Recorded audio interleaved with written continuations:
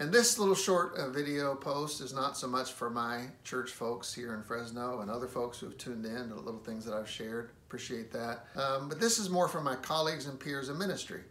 It sure seems like something is happening as we're shifting to online church. Something is afoot. I mean, God is doing something, and I'm trying to figure out what's going on, and I'm sure you are too.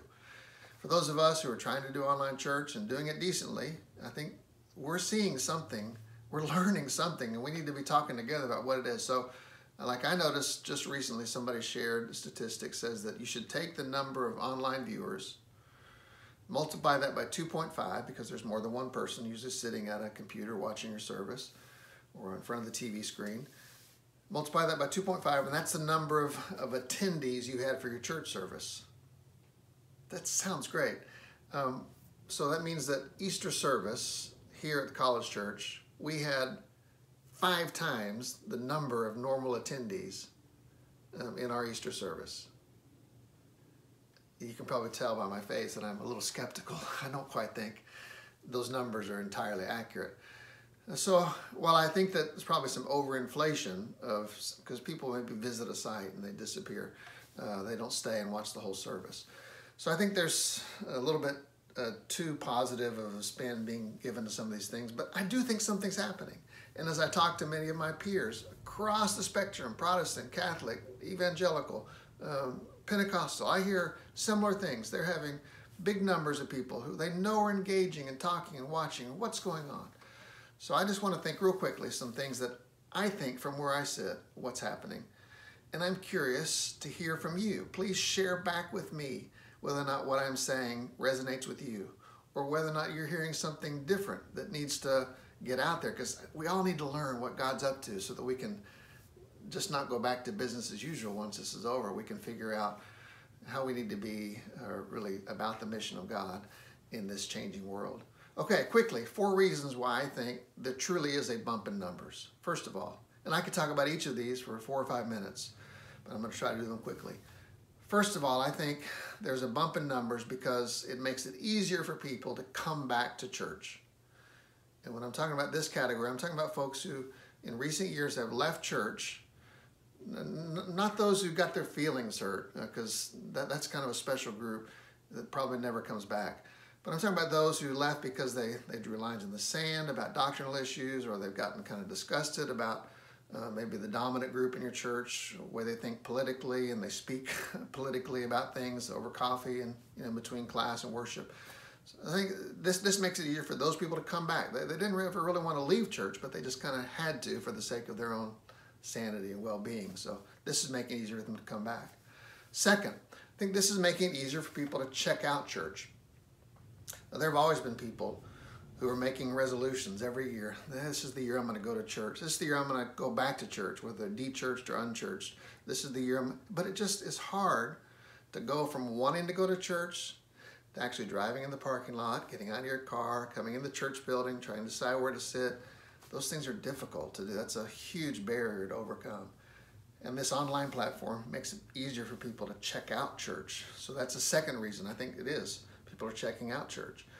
Number three, I think this whole online church platform is making it easier for some people to focus and hear.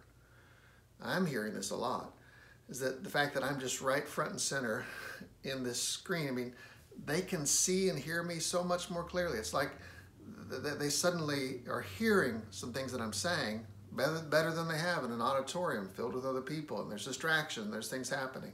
There's lots of distractions at home too, I get it. But you can pause, you can rewind it's fascinating, but I'm hearing that there is more interest simply because you can focus and hear better. Fourth of all, I think this online platform is making it easier for those who need flexibility. We have a lot of people these days who have different issues, concerns, whether it's health concerns or just simply life concerns or just you know family uh, things work things. In church i know a lot of churches are trying to do their best to be flexible for the different needs. I mean churches offer different kinds of services. They offer different times of services. But you just can't meet every need. You can't do a service to fit every need. And the thing about online church is that it scales to a much more diverse audience. I mean you can get up at 11 to watch. You can do it at 10 p.m. you can watch. You can sit in your pajamas and watch. You know, just so many different ways that you yourself as an individual, as a family, can participate in church without having to do the one size fits all kind of church or even two sizes for everybody. So I think these four things it's easier to come back, it's easier to check out church, it's easier to focus in here, and it's easier to be for us as providers of this church gathering, of our worship service, to provide flexibility for those who need it. Now, real quickly as I end, I do think there are three reasons for caution. I don't think we should jump to some quick conclusions uh, because I think uh, that this bump might be largely due to channel surfing. This is what I do with college football in the fall a lot of times. I'll watch a game for a little bit and then I'll see a score pop up and I'll be interested in turn over to that game. I do think there are a number of people who are watching multiple church services or they're tuning in for five minutes to see what happens and then leaving and those numbers probably turn up in your count. So the fact that people are channel surfing doesn't necessarily mean that they're engaging. So that's just something to consider. That's a word for caution. A second thing is that virtual reality is a kind of reality, but is it fulfilling? I mean, I think that there are a lot of questions, and certainly there are people who've done studies about this. Virtual reality does provide some of the, the, the things that we need but there's still something at the end of that that's lacking. So I just kind of wonder how long virtual reality can really fill the needs that we as human beings have. So, you know, going all in on that, you know, may be a little tricky. Just, just a word for caution. I'm not saying that's or a stop sign. And number three, I think the biggest concern for us as church leaders is if you're seeing a bump, fine, but can you shepherd those who are tuning in? This may provide real opportunities for us as churches to engage with a bigger audience. But if we're not shepherding the people who are tuning in, then are they really a part of our church? So this calls for strong leadership. This calls for shepherding leadership. This calls for engagement. And if our churches are poised to be able to shepherd and to connect with people, then I think this can really mean something. But the word of caution is that if you're not poised as a church to really shepherd and reach out, then I think this is uh, going to be a flash in the pan. So let me know your thoughts. I'm really curious what you're hearing. We're just trying to listen together to what God's up to so that we can join God in the mission that God is calling us to. Have a great day.